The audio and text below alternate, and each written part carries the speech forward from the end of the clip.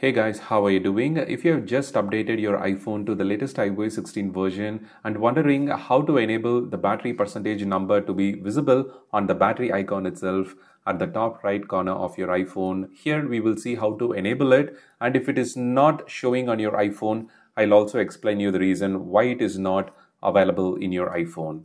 Whenever Apple announces a new iOS operating system, not all the features they showcase will be available on all the iPhone models that are compatible. During the beta version releases, Apple surprised us with iPhone 12 and above models to be compatible with this feature where you will be able to see the battery percentage on the battery icon itself. Some of my audiences also confirmed that iPhone 10 and above models also got this feature after iOS 16 official release. You can navigate to settings, battery, and as the first option you will see the toggle battery percentage to enable that battery percentage number to be displayed on the battery icon itself. Previously during the beta testing I thought that only iPhone 12 and above models were compatible based on user feedback but surprisingly Apple have included the iPhone 10, 10s, 10s Max, 11 Pro, 11 Pro Max, 12, 12 Pro, 12 Pro Max, 13, 13 Pro and 13 Pro Max models as well. Unfortunately, iPhone 10R, iPhone 11, iPhone 12 mini and iPhone 13 mini models are not compatible with this specific feature. So if you're using any one of that model, then this is the reason why it is not working. Even though there are no official statements from Apple why it is not working, I think the screen resolution being one reason and for such users, we still have to use the control center to access and see the battery percentage. Of course, that is a possibility it could be a business decision where some features limited to only higher models where users will be made to think about upgrading their iPhone model. So do share your thoughts. Thank you and have a wonderful day.